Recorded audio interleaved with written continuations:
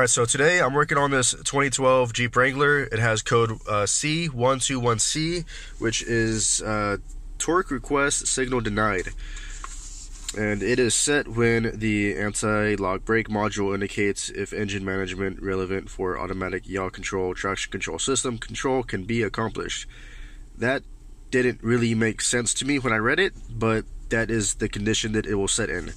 Um, so here's a little diagnostic uh, steps how to do it. Uh, silly me, I cleared the code in the middle of diagnosing it, so this is irrelevant because it must be active for this to work. But if you go down here to 2, I can do this. It says with engine started, with scan tool, read the allow ESP torque request status bits. Was the allow ESP torque requested showing not set? So over here to my scanner, I'm in the uh, ABS module and allow ESP torque request. It is set. So, wow, this is kind of like those high school math questions. Was allow ESP torque request showing not set? So pay attention to that not. It is set, as you see.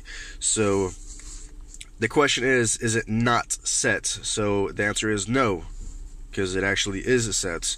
Uh, so replace the anti-lock brake module in accordance with the service information. So that's what we're going to be working on today. I'm going to order the brake module for this uh, Jeep Wrangler, and hopefully that fixes the problem, which it should. Okay, so right away, here are the instructions on how to remove the uh, ABS module. And step one doesn't make sense, remove the master cylinder, but then step two says install prop rod to uh, keep pressure on the brake system. So how are you going to have pressure on the brake system with no master cylinder hooked up? So let's just act like step one isn't there. Um, install prop rod.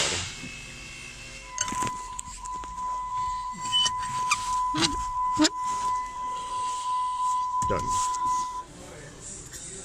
Step three, remove negative battery cable from the battery.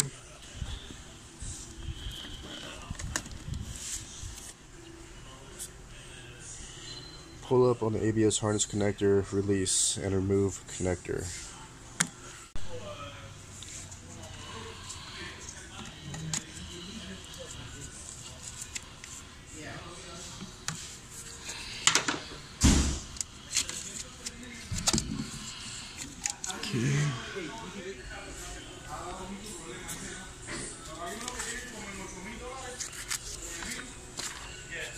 Move brake lines. I don't think I want to move the brake lines because then I'm to have to bleed the system. Uh, maybe that's why putting the rod on the pedal uh, was supposed to stop that. But I'm pretty sure I can remove it without undoing the brake lines if I just take the module off of the assembly. So let's uh, X that out, remove mounting nuts. Okay, let's see if I can do this without undoing the brake lines because really the module is just the black block on the backside. This is all the module is. And there's not actually fluid going through here. So I just need to be able to free it up to get these four bolts off the corners. Um,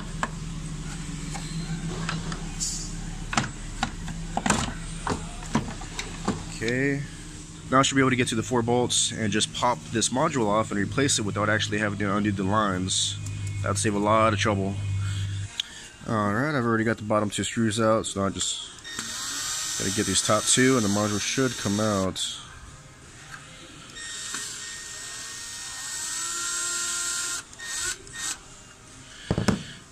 Okay. Let's see here. Right, there's like a plug, and this is the new module. There's like a plug in the center that's kind of, I guess that's what's holding it on there. So able to get it off. And yeah, so there's no fluid actually coming through here, so you don't have to undo the lines. I guess I didn't have to put that right on the pedal. All you really got to do is make enough room to pop off the module here. Okay, so to kind of clean up the surfaces, I actually just rinsed it off with WD-40. Um, usually you can replace the O-rings on these, but they don't seem serviceable. I tried popping them off. Well, first of all, the new module didn't come with new ones.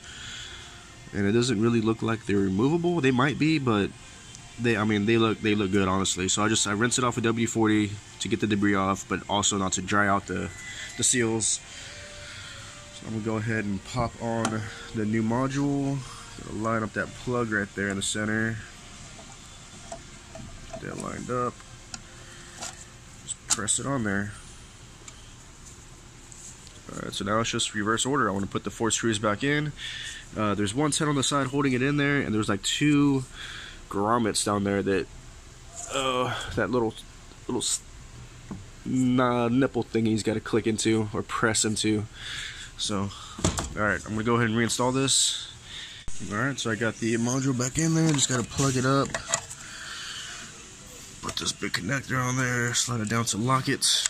Locked in place. It was actually very easy. Just the one bolt and basically pull the whole thing up, and then you can get to the four little bolts, T20 Torx, by the way, and you can change out the module. So now we're gonna see if it has to be programmed or not. Alright, so after replacing the module, don't freak out if you get the ABS light flashing, uh, traction light on the bottom there.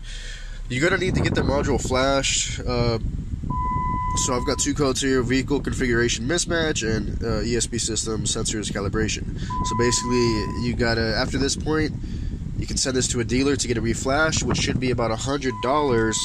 Uh, but typically the labor on the module, I've heard it's anywhere from like five to eight hundred, so you can save big time on that.